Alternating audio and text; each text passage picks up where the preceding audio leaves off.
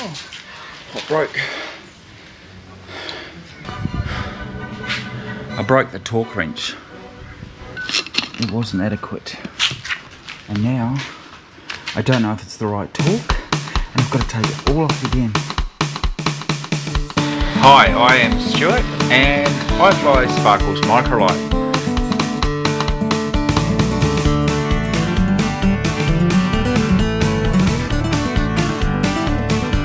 This episode, we will continue the rebuilding of Sparkles Microlight. So upon examination, what's broken inside the torque wrench? Not that. But this is what came out. That. And that's broken off that. That's all that took the pressure. Spring. So I'm just finding out now too that some torque wrenches only torque in the forward direction. Well, let's find out if this is one of those. So, why is it important to know if your torque wrench torques in only the forward direction? Well, the nut that I'm talking down is a left hand thread, which means I need to torque it in the reverse direction. I never knew this before. So let's find out which way this one goes. Let's give it the old normal direction push. Pull, I'll pull it. Hear it click.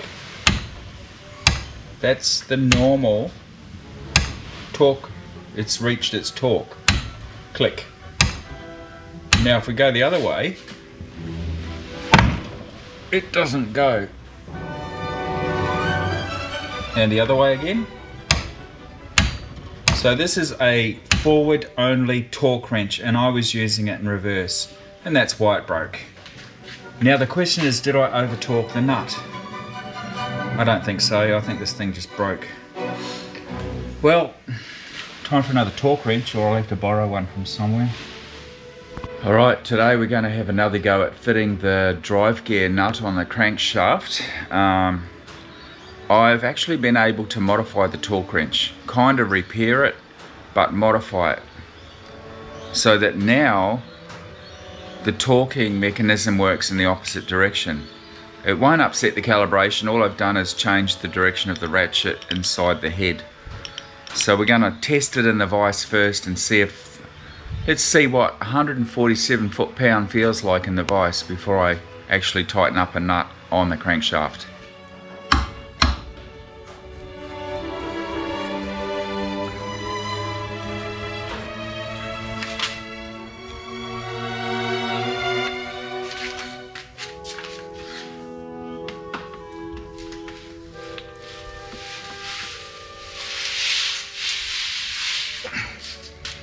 Can't do it.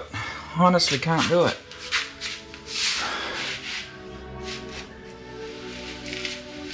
Oh, gee. Let's pull it back a bit. I've also got a lever today.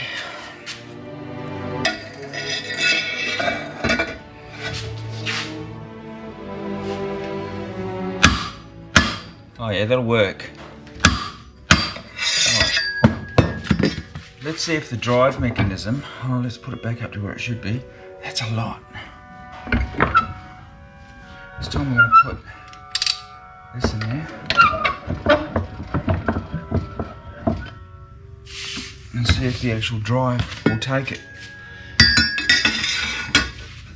Here we go.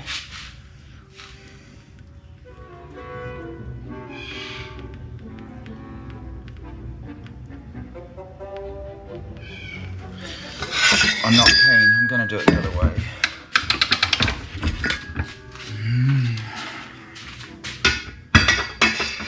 I don't want to break this thing. Okay, here we go.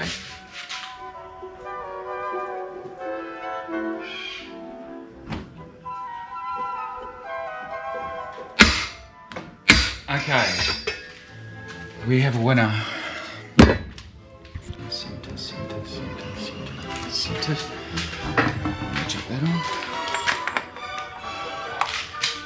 No, I didn't lock that. Oh no, really?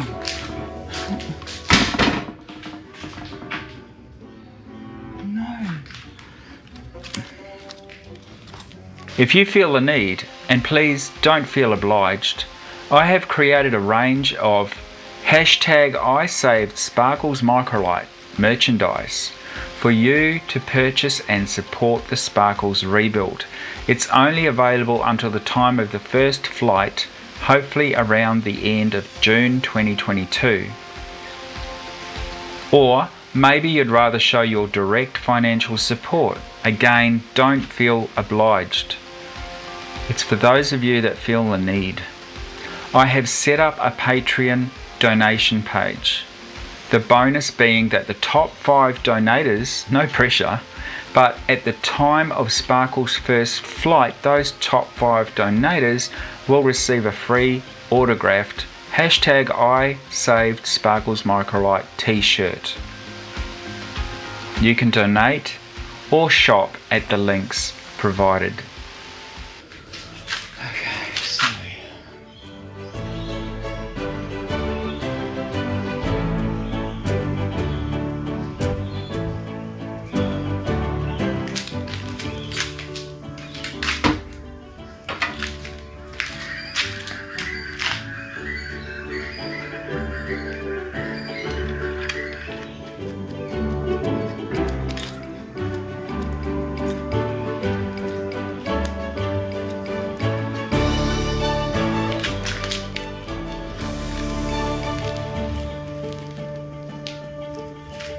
Centralised. That was easy.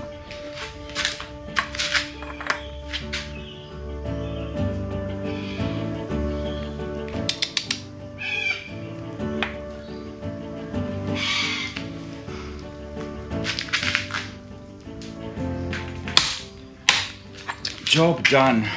Yay.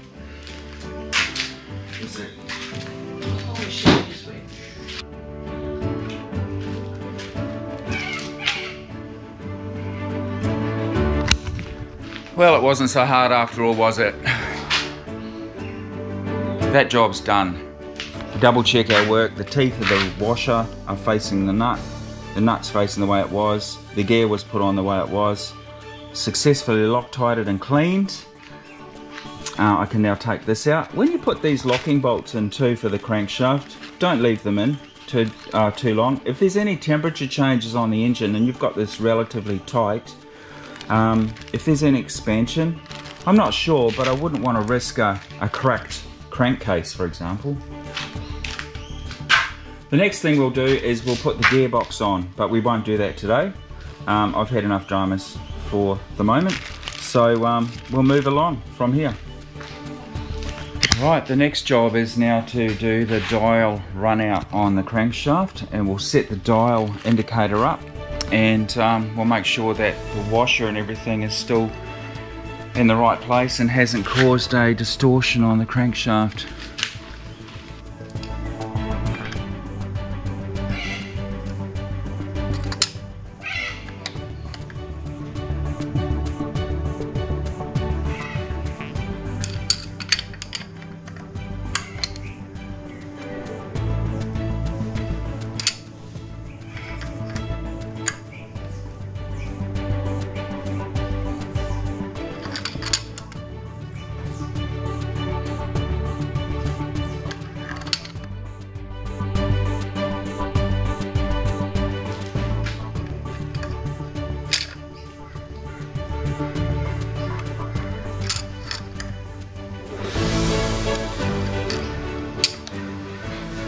Yeah.